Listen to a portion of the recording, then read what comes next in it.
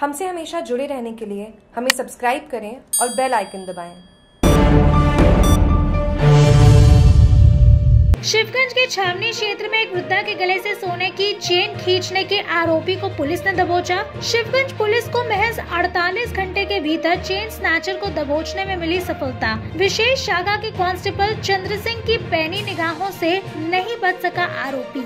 आज सुबह हुई कार्यवाही में सुमेरपुर पुलिस का भी मिला सहयोग। केरलेश्वर महादेव मंदिर के समीप वारदात को अंजाम देने के लिए घूम रहा था आरोपी। शिवगंज के छावनी क्षेत्र में दो दिन पूर्व मंदिर जा रही एक वृद्धा के गले से सोने की चेन खींचने का असफल प्रयास करने वाले चेन स्नैचर को पुलिस ने आज सुबह के समय दबोच लिया। चेन स्नैचर को दबोचने के लिए विशेष शाखा के कांस्टेबल चंद्र सिंह पिछले प्रयासरत थे। आज सुबह के समय केरलेश्वर मंदिर के अपने शिकार की तलाश में घूम रहे इस चेन स्नैचर का उन्होंने पीछा किया तथा सुमेरपुर पुलिस के सहयोग से उसे दबोच लिया गया।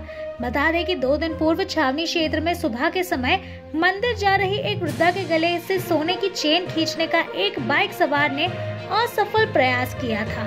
धक्का लगने की वजह से वृद्धा के गिर जाने की वजह से चेन स्नैचर अपने मंसूबे में कामयाब नहीं हो सका और लोगों के इकट्ठा होने के डर से अपनी बाइक लेकर मौके से फरार हो गया। आसपास में लगे सीसीटीवी कैमरों में दिखाई दी चेन स्नैचर की तस्वीर के आधार पर पुलिस ने उसकी तलाश शुरू की थी। थाने में विशेष शाखा के कांस्टेबल चंद्र सिंह इस कार्य में मुस्तैदी से लगे हुए थे। आज सुबह के समय कांस्टेबल चंद्र सिंह को आरोपी से मिलते जुलते हुलिये का व्यक्ति अपनी पल्सर मोटरसाइकिल पर केरलेश्वर महादेव मंदिर के समीप दिखाई दिया। संभवत ये मंदिर के आसपास अपने शिकार की तलाश कर रहा था। इस दौरान शक होने पर वो सुमेरपुर की तरफ़ रवाना हो गया।